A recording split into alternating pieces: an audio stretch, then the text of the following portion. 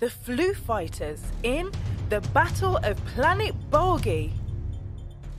Last year, as you may recall, they came from the planet Bogey, a cold and lonely place, full of bugs and grubs and germs and worms, far away in space. The invaders were called Chilly, Achy, and Snotty, and their mission was to make little earthlings feel grotty. They thought they would have it easy, making Wolverhampton's children sneezy. But our brave flu fighters and fearless nurse sent them packing across the universe. We're shrinking! And now the story continues. In the control room, at the heart of this story, is our fearless flu nurse watching the universe in all its glory, from the earth to the moon and the stars and back. She keeps an eye out for snot filled aliens preparing to attack.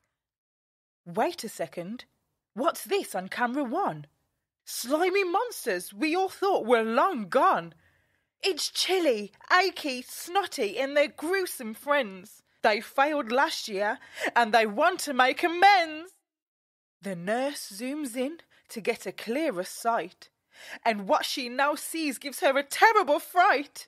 It's their leader, Lord Fever, a foul looking thing, gathering his troops like he was their king. You blew it last year. You let everyone down. You fools messed up and made me look like a clown. We can't fail this time, so I'm bringing in fresh troops. I need a stronger army, not a bunch of nincompoops. Let me introduce the new recruits joining us on our crusade. The Flu Twins, Wheezy and Sneezy, will definitely make the grade. With our army complete, it is time we all flew and set course for Earth to give its children the flu. oh, cripes! Oh no! It's happening again! The aliens are beginning their foul campaign! The nurse grabs her kit and heads out the door to round up her gang and prepare for war. The nurse arrives at school where the children are playing chase and shouts out, Those foul fiends are gathering in space! The aliens have mutated and want to give you the flu, but a quick squirt up your nose will stop them. It's true. Shields form around our heroes through which nothing can sneak.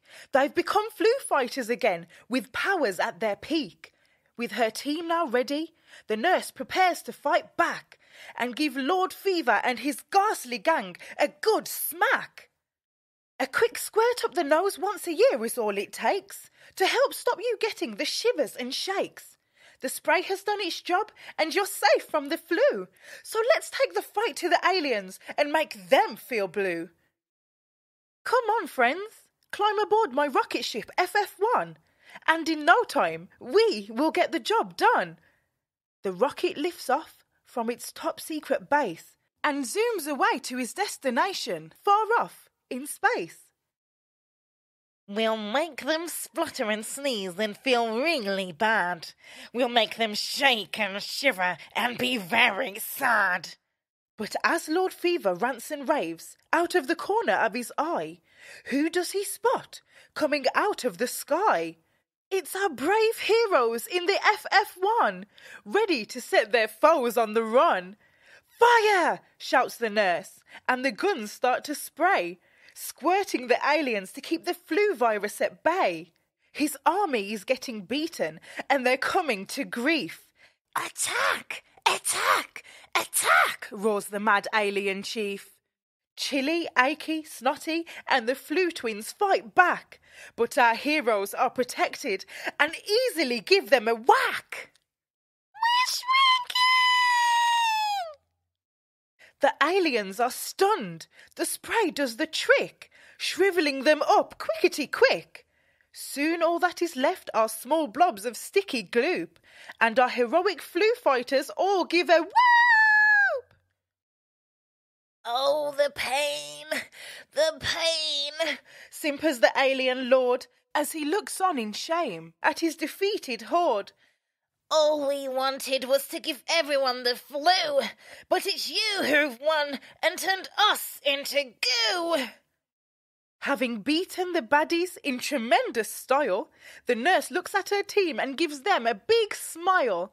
Come on, gang, our job here is done. The fight is over. The battle is won. We'll be back next year.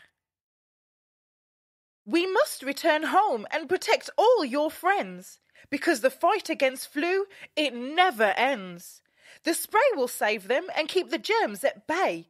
A quick squirt up the nose will save the day.